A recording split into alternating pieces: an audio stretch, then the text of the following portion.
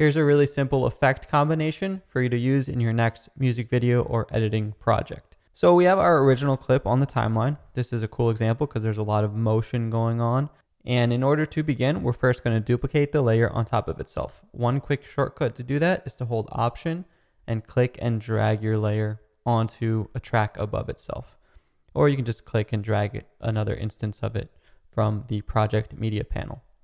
Next, we're going to highlight the top layer and head over to the effect controls panel. Remember, if you don't ever see any of these windows, you can always go to window and make sure you check on that panel if you can't find it. So in the effect controls panel, uh, we're first also going to want to go to the effects panel on the right hand side. So don't mix those up. This is the effects where we can find the effects, and this is the effect controls where, where we can control the parameters of those effects. We're going to search for one called posterize time. It's in the time video effects folder, and we're going to click and drag that on to the top instance of this clip. And you'll see it appear in the effects controls panel now. And this one's very simple. It only has one parameter to adjust, and that is the frame rate. So at 24 frames, it's just going to look like a smooth video but you can adjust this all the way down to one frame. Um, so what will happen now is you'll see that only one frame per second will play. So it kind of becomes like a stop motion. We're getting random screenshots uh, of this top clip. Um, but you can also make it faster. So like here's six. Uh, you can see it's still not a smooth video. It almost looks like it's lagging, but it's not. Um, and here's 12 frames, for example.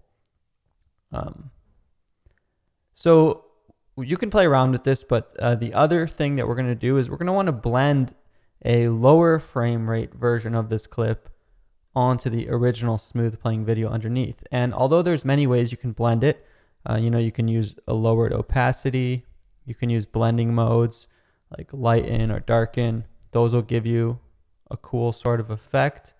Uh, another interesting one that I've been playing with is actually the a keying effect called Luma Key. So you'll find this in the keying video effects folder. And if I click and drag this onto the clip, what Luma Key does is it keys out parts of the video based on the brightness or darkness of it. Sort of like the lighten or darken, darken blending mode, but let's just turn all of this up back to 100% and normal. So here's 100% normal of the video clip. And just to show you what's going on, I'll also hide the clip underneath. So threshold and cutoff are the only two effects here. So here's the threshold of the clip. Here's zero, zero. You basically have the whole clip and 100% at zero cutoff. So now uh, we're only getting the highlights of this clip. If I was to increase the cutoff point, you see it, it gets a lot more sharp in contrast. And if we kind of switch from 100% cutoff to 0% threshold, we get the opposite. Now we only get the shadows or the darker parts of this clip and the highlights are removed. So let's say, for example, we do something like this where we have a mix of both, but we sort of have this cutout of the trees and the break dancer. I also think it'll be nicer if it's uh, not as harsh. So we're adjusting these percentages a little bit. Here's a 33 and 66% combination. And if I turn the original clip back on underneath, you'll see it'll fill in all of these black or transparent parts. If you ever want to see it actually transparent, you can click on this uh, wrench icon and you can go to transparency grid and you'll see what's actually going on. It's not black, it's just transparent. So when I show the clip underneath again, it fills in and since it's the same clip, that's what gives us this trippy stamping effect where the new cutout layer is stamped on top. And I, I kind of like this Luma key method as opposed to the blending mode method because it just feels a little bit more like visually trippy. You can't it's it you can't tell what's going on as much. Like the blending mode trick I've shown in videos before, but this Luma key trick, it just uh, a little bit harder for your eye to tell what's happening, and I think it looks a little bit cooler. And the main thing to adjust at this point would be the frame rate. So this is six frames per second. It looks pretty cool, but we can also check out what it would look like at a faster rate, like 12, if we want like a even more smooth, if we want like an even more subtle, smooth glitch. Uh, it's really it's kind of hard for your eye to tell what's going on. It feels like the frame is moving in a weird way. Um, this is 12. You can also see what it looks like at 1.